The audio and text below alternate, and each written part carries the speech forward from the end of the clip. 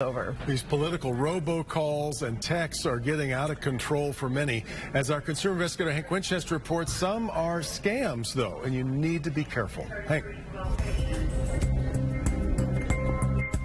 This was a big problem right before the primary, and now it is happening again. So many people receiving text messages or phone calls from candidates asking for your support. Well, tonight we're going to show you how to stop those robocalls once and for all. Some people are receiving repeated text messages like these, trying to gauge your interest or trying to find out who you may be supporting in November. Others are receiving robocalls, repeated robocalls, calls asking you to support a particular candidate. But beware, because you may be duped. You have to be very vigilant on who is calling you and what their reasoning for it is. We've learned scammers have been putting together fake audio messages. You may think that you're getting a call from President Trump or VP Biden. They're asking for your financial support and your financial information.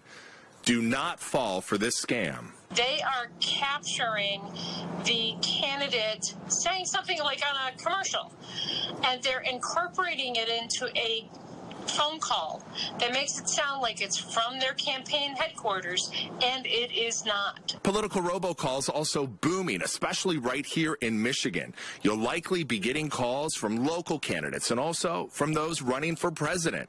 They're trying to get your support, but for many, getting these calls is nothing more than annoying.